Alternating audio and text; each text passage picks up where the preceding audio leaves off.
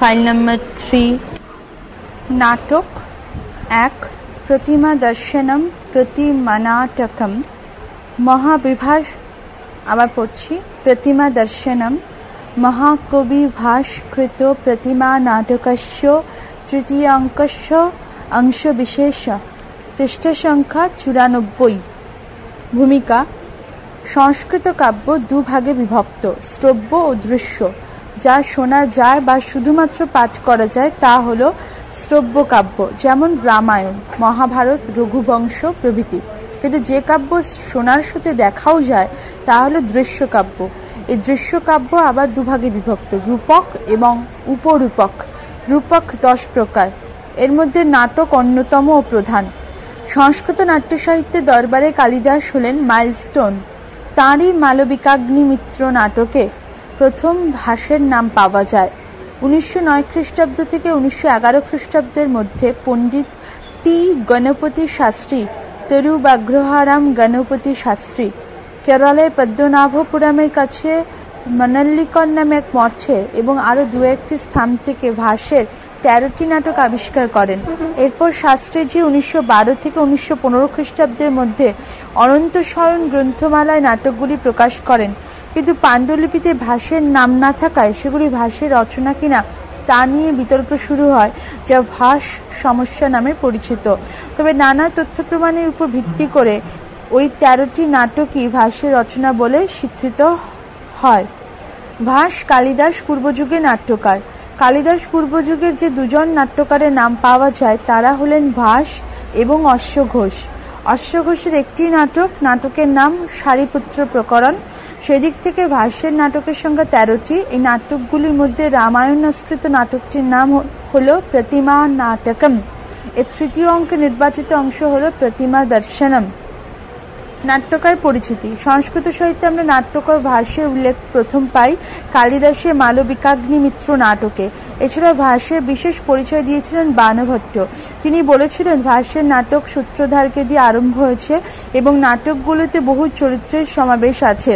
সূত্রধার হলো নাটকের state manager বা মঞ্চ পরিচালক।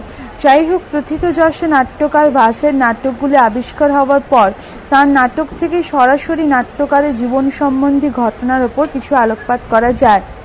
ভাস কোন সময় নাট্যকার তা নিয়ে মতভেদ আছে? গণপতি শাস্ত্রী নিজে ভাসকে পানিনি এবং কৌটিল্যের থেকেও প্রাচীন বলেছেন। এডি পুসলকর ভাসকে নিয়ে বিস্তৃত গবেষণা করেছেন। তিনি বলেছেন তিনি বলেছেন, ভাষের সময়কাল হল খ্রিস্টপূর্ব পঞ্চম অথবা চতুর্থ শতাব্দী। তবে অনেকের মতে খ্রিস্টপূর্ব দ্বিতীয় বা প্রথম শতাব্দী। ভার্সের নাটকগুলিতে অবন্তী, বৎস, কাশী, মৎস্য, সুরসেন, কুরু, কোশল, কম্বোজ, গান্ধার, মদ্র প্রভৃতি দেশের কথা আছে। তা থেকে মনে করা হয় যে, তিনি উত্তর ভারতেরই লোক ছিলেন।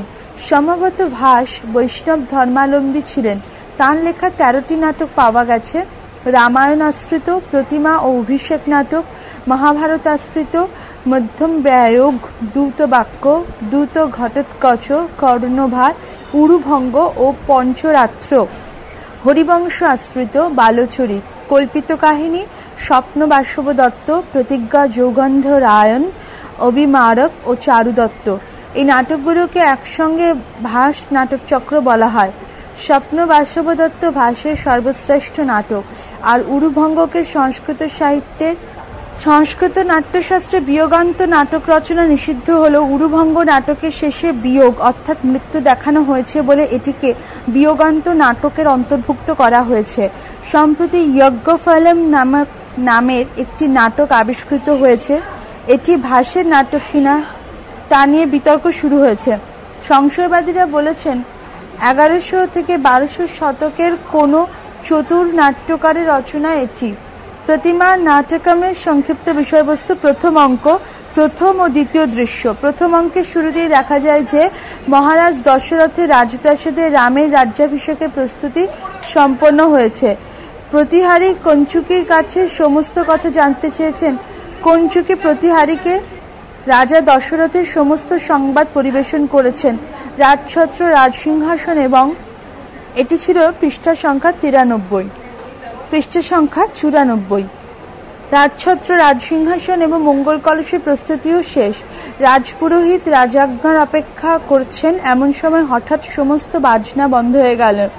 বালকদের সাথে ক্রোড়ারত সীতা শঙ্কাকুল হয়ে উঠলেন। রামও উঠে পড়লেন। তাকে বনবাসে যাওয়ার আদেশ দেওয়া হলো। সীতা ও লক্ষণ। এই দুজনকে সঙ্গে নিয়ে রাম বনবাসের উদ্দেশ্যে যাত্রা করলেন। দ্বিতীয় অঙ্ক, রামকে বনবাস গমন থেকে বিরত রাখতে অসমর্থ মহারাজ দশরথ শোকাকুল হয়ে উঠলেন। মাটিতে জলহীন মাছের মতো ছটফট করতে লাগলেন। কৌশল্য তাকে আশ্বস্ত করতে চেষ্টা করলেন। কিন্তু ইতিমধ্যে বৃদ্ধ মন্ত্রী সুমন্ত্র রাম লক্ষণ ও সীতাকে অযোধ্যার বাইরে পৌঁছে দিয়ে ফিরে এসেছেন এবং রামচন্দ্র বনবাসে যাত্রা করেছেন শুনে মহারাজ দশরথ মূর্ছিত হয়ে পড়লেন এবং প্রাণত্যাগ করলেন। তৃতীয় অঙ্ক। ভ্রাতৃপ্রেমের সাক্ষাৎ প্রতিমূর্তি ভরত মাতুলালয় থেকে ফিরছেন। প্রয়াত মহারাজ দশরথের প্রতিমা স্থাপিত হতে চলেছে। এই উপলক্ষে অন্তঃপুরে মহিষীগণ সেখানে উপস্থিত হচ্ছিলেন। তার পিতার অসুস্থতার সংবাদ শুনে আকুল হয়ে ভরত অযোধ্যা ফিরে আসছেন। ভরত অনেকদিন মাতুরালয়ে ছিলেন, তিনি অযোধ্যা বৃত্তান্ত কিছুই জানেন না। এতদিন বাদে প্রত্যাগত ভরতকে অযোধ্যায় প্রবেশের পূর্বে শুভ মুহূর্তের জন্য নগরের উপকণ্ঠে প্রতীক্ষা করতে বলেছেন উপাধ্যায়গণ। তাই সেখানে রথ থামিয়ে প্রতীক্ষা করার স্থান খুঁজতে খুঁজতে হঠাৎ একটি দেবালয় দেখতে পান। দেবতা দর্শনের জন্য তিনি সেই দেবালয়ে এসে উপস্থিত হলেন। এখানে দেবকুলিক তাঁকে ক্রমে ক্রমে দিলীপ, রঘু এবং অজয়ের প্রতিমার সাথে পরিচয় করিয়ে দিলেন। তখন ভরত জানলেন যে এটি দেবালয় নয়, পরন্তু পূর্বপুরুষগণের স্মারক গৃহ, অর্থাৎ প্রতিমা গৃহ। এরপর প্রতিমা গৃহে যখন মহারাজ দশরথের প্রতিমা দেখলেন, তখন ভরত মূর্ছিত হয়ে পড়লেন। মূর্ছা ভঙ্গের পর আবার তখন রামের বনবাস ও দশরথের প্রাণের সংবাদ শুনলেন, তখন আবার অচৈতন্য দশা প্রাপ্ত হলেন। এই সময় রাজমাতারা ওখানে উপস্থিত হলেন। ভরত বুঝতে পারলেন যে নিজের অনুপস্থিতিতে এই সমস্ত অনর্থের মূল নিজের মাতা কৈকেয়ী। এই জন্য প্রকাশ্যে কৈকেয়ীকে ভৎসনা করলেন আর তখনই বৃদ্ধ মন্ত্রী শ্রীমন্ত্রকে সাথে নিয়ে রামকে বনবাস থেকে ফিরিয়ে আনতে অযোধ্যা থেকে প্রস্থান করলেন। চতুর্থ অঙ্ক, রাম, লক্ষণ ও সীতাকে নিয়ে দণ্ডকারণ্যে বনবাসী হয়ে আছেন। ভরত সুমন্ত্রকে সাথে নিয়ে রামের কুটিরে এসে উপস্থিত হলেন। ভরতের কণ্ঠস্বর শোনামাত্র রাম তার সাথে দেখা করার জন্য উৎসুক হয়ে উঠলেন। কথাবার্তার পর ভরত রামের পাদুকা নিয়ে অযোধ্যা প্রত্যাবর্তন করলেন, তবে ভরতের শর্ত রাম মেনে নিলেন যে বনবাস সমাপ্ত হলেই রাম রাজ্যভার গ্রহণ করবেন। ততদিন পর্যন্ত ভরত তাঁর প্রতিনিধিত্ব করবেন। পঞ্চম অঙ্ক পঞ্চমঙ্গের আরম্ভে দেখা যায় পিতৃশ্রাদ্ধের জন্য রাম চিন্তাতুর। হঠাৎ এক অতিথির শব্দ শুনে রাম বাইরে এলেন। পরিব্রাজকের রূপ ধরে কপট রাবণ উপস্থিত হয়েছেন। রাম অতিথি সৎকার করলেন। আতিথ্য গ্রহণের পর অতিথি রামকে শ্রাদ্ধের জন্য স্বর্ণমৃগের নিবাপে। মৃতের উদ্দেশ্যে দানকৃত ভূমিখণ্ড যাওয়ার উদ্দেশ্য উপদেশ দিলেন। স্বর্ণমৃগ দেখা মাত্র। রাম তার অনুসরণ করলেন, তীর্থ থেকে আগত কুলপতির অভ্যর্থনার জন্য। লক্ষণ আগেই কুটির থেকে চলে গিয়েছিলেন। আতিথ্যের জন্য সীতা বাইরে দাঁড়িয়েছিলেন। সীতাকে একান্তে দণ্ডায়মানা দেখে রাবণ তার আসল পরিচয় দিলেন। সীতা ভয়ভীত হয়ে পড়লেন। রাবণ এই অবসরে সীতাকে বলপূর্বক অপহরণ করে নিয়ে গেলেন। আর অপহৃত সীতার করুণ ক্রন্দন শুনে জটায়ু রাবণের মার্গ রোধ করতে চাইলেন। ষষ্ঠ অঙ্ক, প্রথম দৃশ্য। রাবণ ও জটায়ুর মধ্যে যুদ্ধ শুরু হলো রামের অনুপস্থিতিতে সীতাকে উদ্ধারের জন্য জটায়ু নিজের প্রাণ পর্যন্ত বাজি রেখেছেন। কিন্তু ভয়ঙ্কর যুদ্ধের পর জটায়ুর মৃত্যু হলো। জনস্থানের দুই ঋষিকুমার সীতাহরণ ও জটায়ুবধের ঘটনা জানানোর জন্য রামকে খুঁজতে লাগল। দ্বিতীয় দৃশ্য, জনস্থান থেকে ফিরে বৃদ্ধ মন্ত্রী সুমন্ত্র ভরতকে সীতাহরণের সংবাদ দিলেন। ভরত এই দুঃখকর সংবাদের সমস্ত ক্রোধ কৈকির উপর চাপালেন। শেষে কৈকি নিজের দোষ স্খালন করলেন। এরপর ভরত রাবণকে আক্রমণের জন্য প্রস্তুত হতে লাগলেন সপ্তম অঙ্ক। রাবণ বিজয়ের পর রাম আবার জনস্থানে এসে পৌঁছালেন। লক্ষণ ও সীতা তাঁর সাথী ছিলেন। পরস্পর তিনজনের মধ্যে যখন পূর্ব পরিচিত স্থান নিয়ে কথাবার্তা চলছিল, তখনই তারা ভারতের আগমনের সংবাদ পেলেন। ভারতের সাথে বৃদ্ধমন্ত্রী সুমন্ত্র এবং মাতা কৈকিও এসেছেন। সকলের সামনে ভরত রামকে রাজ্যভার সমর্পণ করলেন কৈকির আদেশে রাম অযোধ্যার রাজ্যভার গ্রহণ করলেন। নাটকের মধ্যে অনেক রসে আস্বাদন করার পর অন্তে সামাজিক গণের চিত্তবৃত্তি শান্তরসে নিমজ্জিত হলো। উৎস।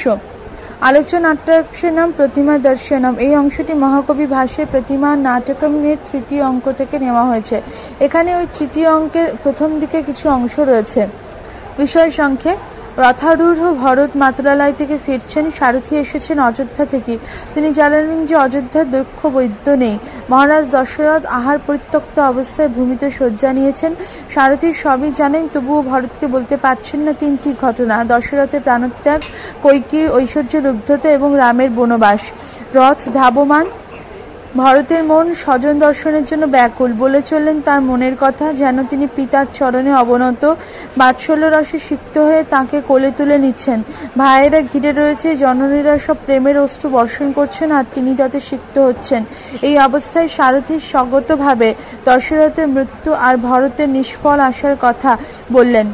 এমন সময় অযোধ্যা নগরী উপান্তের সৈনিক এসে পৃষ্ঠের সংখ্যা পঁচানব্বই এমন সময় অযোধ্যা নগরের উপান্তে সৈনিক এসে জানালেন যে উপাধ্যায়গণ অযোধ্যা প্রবেশের শুভ মুহূর্তের জন্য ভরতকে অপেক্ষা করতে বলেছেন। পূর্বে গুরুবাক্য অমান্য করেননি ভেবে ভরত সেই আদেশ মেনে নিলেন। সারথীয় রথ থামিয়ে বিশ্রাম নিতে গেলেন। ভরত বিশ্রাম নিতে উপযুক্ত স্থানের খোঁজ করছেন। এমন সময় বৃক্ষের অন্তরালে একটি গৃহ দেখতে পেলেন। মনে হলো যেন দেবালয়, কিন্তু দেবকুলিকের কথা জানলেন যে সেটি প্রতিমা গৃহ, অর্থাৎ স্বর্গত রাজাদের মূর্তি স্থাপনের গৃহ। তারপর আরও জানতে পারলেন যে প্রতিমাগুলি ইক্ষাকু বংশীয় রাজাদের দর্শন করলেন দিলীপ, রঘু এবং অজয়েরও প্রতিমা। তার মনে জিজ্ঞাসা হলো, এখানে কি জীবিত রাজাদেরও প্রতিমা রাখা হয়? দেবকুলিক ভারতের জিজ্ঞাসার উত্তরে বললেন, না, এখানে স্বর্গতেদেরই প্রতিমা রক্ষিত হয়। তখন কৌতূহলী ভারতের জিজ্ঞাসার উত্তরে দেবকুলিক জানালেন যে স্ত্রী শুল্ক প্রদানের জন্য মহারাজ দশরথ প্রাণ এবং রাজ্য দুই বিসর্জন দিয়েছেন। দেবকুলিকের কথায় ভরত মূর্ছিত হলেন।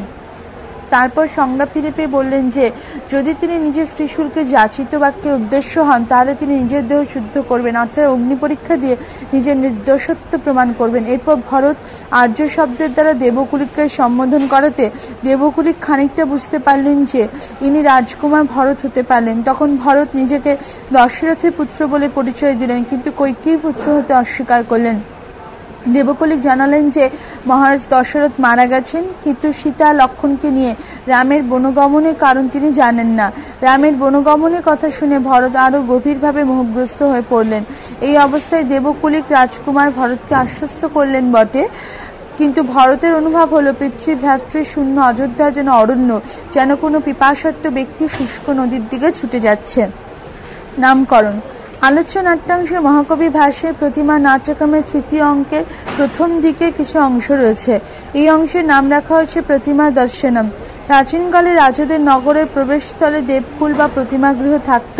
এখানে মৃত্যুর পর স্বর্গত রাজাদের প্রস্তর মূর্তি স্থাপন করা হতো।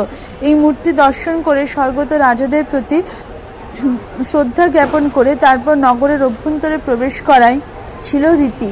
ইক্ষাক্ষ বংশ এইরকম প্রতিমাগৃহ ছিল, যেখানে স্বর্গত রাজাদের মূর্তি স্থাপন করা হয়েছিল।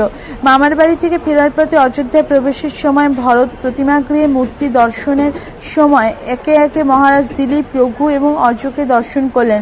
কিন্তু তারপর মহারাজ দশরথের মূর্তি দেখে মূর্ছিত হয়ে পড়লেন। এখানে আলোচ্য নাট্যাংশটি শেষ হয়েছে। প্রতিমাগুলি দর্শনই হয়েছে নাট্যাংশ উপজীব্য বিষয়বস্তু। তদনুসারে নাট্যাংশে নামকরণ করা হচ্ছে প্রতিমা দর্শনম। সুতরাং নাট্যাংশের নামকরণটি সম্পূর্ণরূপে সঙ্গত এবং সার্থক। প্রতিমা দর্শনম, ভাস্কর্য, শিল্পকলা, নাট্যগুণ, আলোচনা। প্রাচীন ভারতীয় মন্দির চৈত্য প্রভৃতি নির্মাণ প্রযুক্তিতে স্থাপত্য ও ভাস্কর্য শিল্পে পরাকাষ্ঠা পরিলক্ষিত হয়।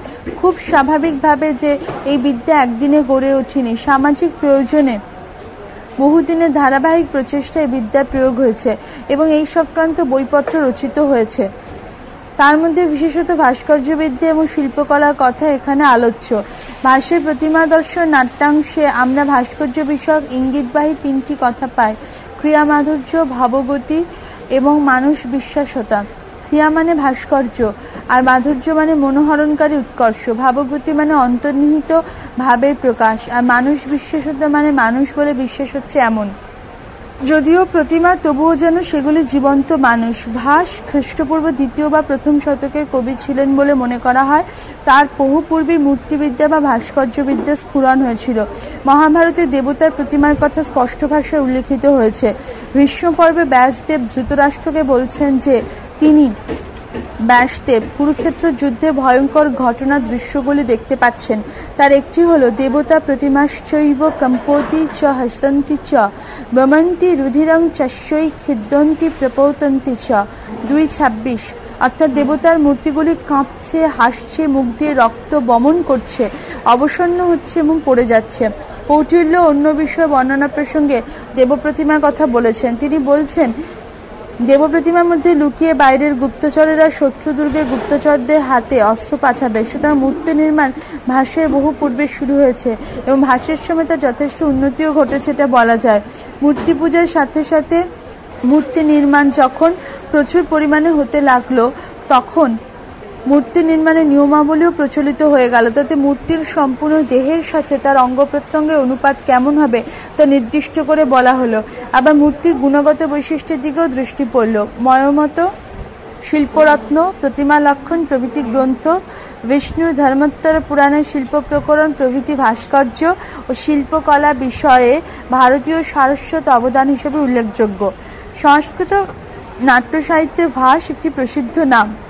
তাঁর নাট্যকৃতি তেরোটি। এই নাটকগুলির রচনাশৈলী বিশ্লেষণ করে গবেষকগণ একমত যে ভাষের নাট্য রচনাশৈলী নাট্যকারদের জন্য আদর্শ রচনাশৈলী বলে স্বীকার করা যায়।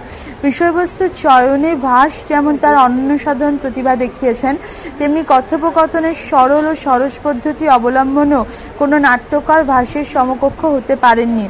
যাই হোক টি. গণপতি শাস্ত্রী ভাসের নাটকগুলির শৈলী নিয়ে যে মন্তব্য করেছেন এখানে একটি উল্লেখযোগ্য।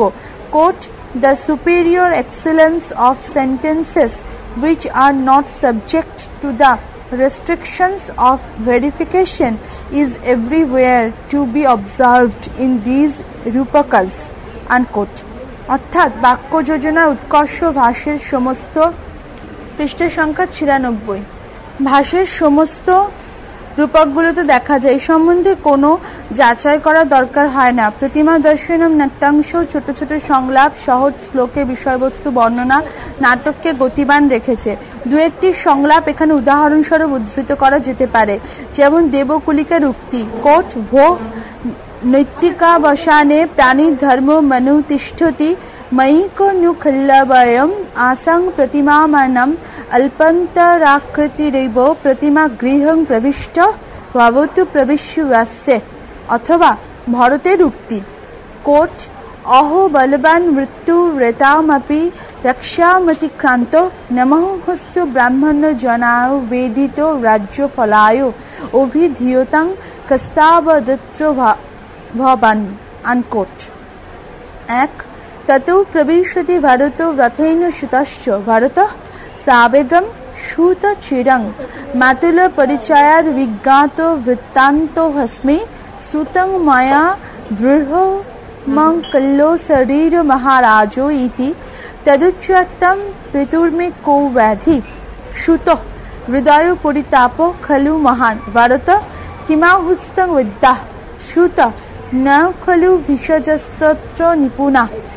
ভারত কিমাহারং ভুঙ্ক্তে শয়নমপি সুত ভূমৌ নিরাশন। ভরত কিমাশসাদ সুত দৈবং। ভরত স্ফুরতি হৃদয়ম বাহো রথয়ম। সুত যজ্ঞাপয়ুক্তায়ুষ্মান রথং বাহয়তি। সন্ধি ভেঙে পাঠ শব্দার্থ। তত তারপর প্রবেশতি প্রবেশ করলেন ভারত ভারত রথেনও রথারূঢ় হয়ে সুত, চ, এবং সারথি। ভরত ভরত, সাবেগম আবেগের সাথে সুত, সারথি। চিরং অনেকদিন পরে মাতুল পরিচয়াত মামার বাড়িতে বাস করার ফলে অভিজ্ঞাত বৃত্তান্ত ঘটনার সম্বন্ধে অজ্ঞাত অস্মি আছি, ময়া আমি। শ্রুতম শুনেছি, মহারাজ মহারাজ, দৃঢ়ম ভীষম, অকল্য শরীর, অসুস্থ শরীর। ইতি একথা তৎ তাই উচ্চতম বলুন, মে আমার পিতু, পিতার ক, কি ব্যাধি, অসুখ? শ্রুত সারথি, মহান ভীষণ, খলু, তো, হৃদয় পরিতাপ, মানসিক পরিতাপ, ভরত ভরতম, তাকে অর্থাৎ মহারাজকে। বিদ্যা, বিদ্যগম, কিম, কি, আহু বলেছেন। শ্রুত সারথি না খলু, নেই, বিশেষ বৈদ্য তত্র সেখানে নিপুণা, নিপুণ। ভরত ভরত, কিম কি? আহারম খাবার ভুংতে খাচ্ছেন। শয়নমপি শয়ন, অর্থাৎ শয়ন ঠিকমতো হচ্ছে তো? সুত সারথি, ভূমৌ ভূমিতে, নিরসন নিরাহার। ভরত ভরত, কিম কি? আশা আশা অর্থাৎ বাঁচার আশা। স্যাত আছে? সুত সারথি, দৈবম, দৈবই ভরসা, ভগবান জানে। ভরত ভরত হৃদয়ম বুক, স্ফুরতি কম্পিত হচ্ছে, রথম রথ বাহয় জোরে চালাও।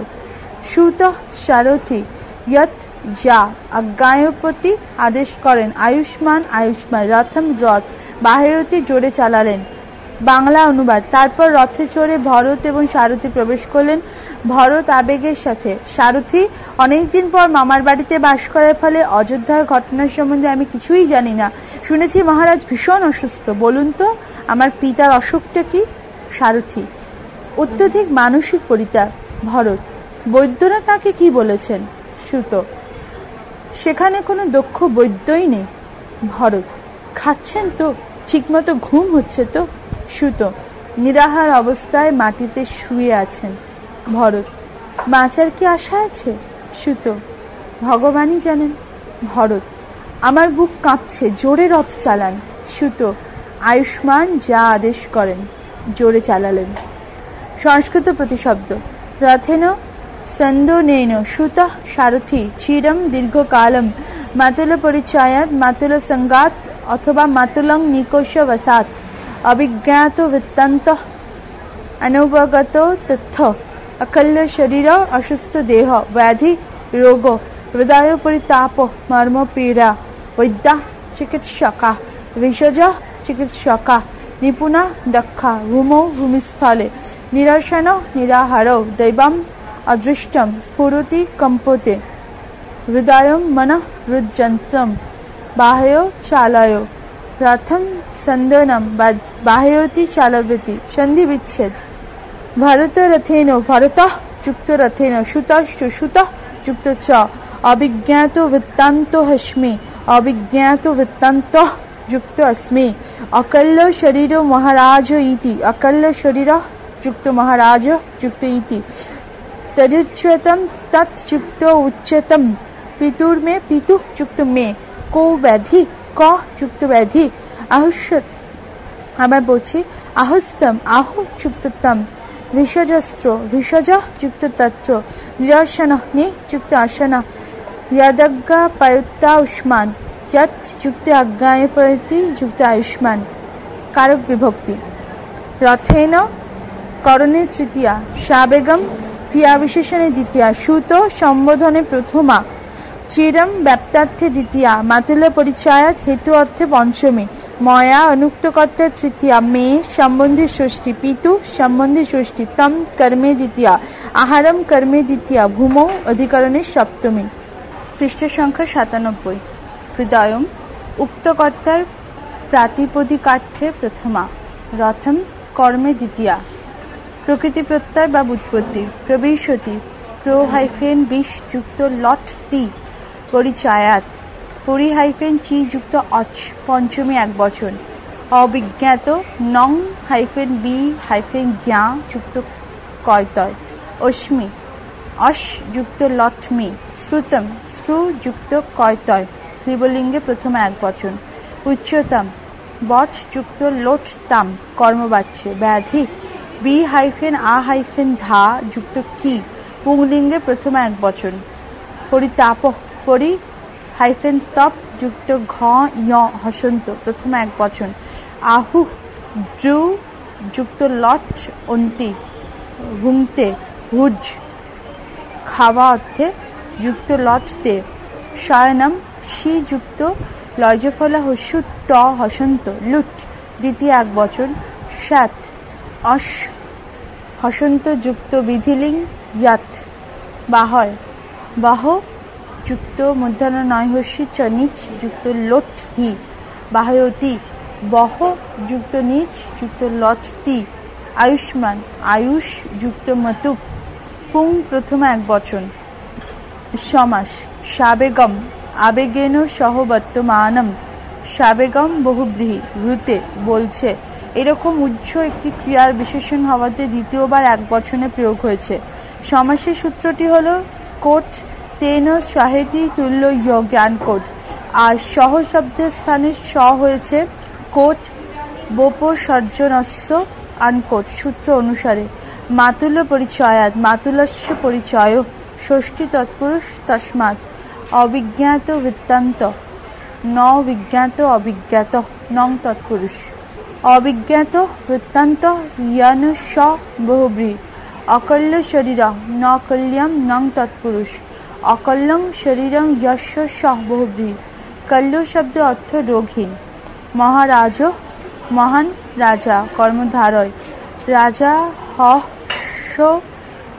আবার পড়ছি, রাজা হ সখী ভষ্টচ। সূত্রানুসারে সমাসান্ত তচ প্রত্যয় হয় ট চয় হসন্ত হৃদয় পরিতাপ হৃদয়স্য পরিতাপ ষষ্ঠী তৎপুরুষ। নিরসন, নি নিরস্তম অশনং যশ স বহুব্রীহি। টিপ্পণী ভরত ও সারথীর কথোপকথনটি একটি শ্লোক। ভরতের উক্তি, পিতুর্মে ক্রো ব্যাধি দিয়ে আরম্ভ এবং ভরতেরই উক্তি, স্ফুরতি হৃদয়ম বাহয় রথম দিয়ে শেষ পর্যন্ত ভরত ও সারথীর মধ্যে কথোপকথনটি একটি শ্লোকাকারে নিবদ্ধ। পিতুর্মে কৌ ব্যাধির হৃদয় পরিতাপ খলু মহান। কিমাহুস্ত বিদ্যা ন খলু ভিষজস্ত্র নিপুণা। কিমাহরং ভুক্তে শয়নমপি ভূমৌ নিরসন। কিমাশ যৎ দৈবং স্ফুরতি হৃদয়ং বাহয় রথম। আহু।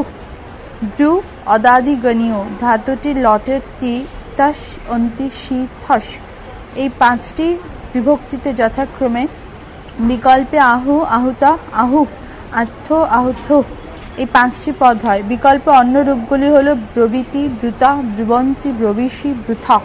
মাতুল পরিচয়াত। ভরতের মাতুল মানে মামা ছিলেন যুধাজিৎ পরিচয় মানে অনেকদিন ধরে থাকা। পিতুর মেয়ে। আসমাদ শব্দের ষষ্ঠীর এক বচনের সংক্ষিপ্ত পদটি হল মে। অন্য রূপটি হল মম? সংস্কৃত ব্যাকরণের নিয়ম অনুযায়ী অস্মদ ও ইয়স্মদ শব্দের সংক্ষিপ্ত রূপগুলি মা, মে, নৌ, ন তে, বাম, ব। এই মোট আটটি রূপ বাক্যের আদিতে প্রয়োগ করা যায় না। কিন্তু ব্যাকরণ প্রক্রিয়ায় অন্যায় দেখানোর সময় বাক্যের আদিতে প্রয়োগ করা যায়। ছন্দ নম্বর শ্লোকটি শিখরিণী ছন্দে রচিত। শ্লোকের সন্ধি অবশ্য কর্তব্য, সুতরাং সংলাপের পদগুলির মধ্যে সন্ধি করে নিতে হবে। দুই, ভরত রথবেগং নিরূপ্য অহনু খুলু রথবেগ এতে তে দ্রুমা ধাবন্তীব, দ্রুত রথ গতি ক্ষীণ বিষয়া। নদী বদ্বৃত্তাম্বুর্নি পতৌতি মহি নিমি বিবরে, রেউ ব্যক্তি নষ্ট স্থিতমিব। জবাচ্চ ক্রবলায়ং রজস্বা स्वधुतं पतौति पुरोतो ननु पतौति दुई। श्रुत आयुष्मान। शोपस्नेहोतया वृक्षाणि मोहित।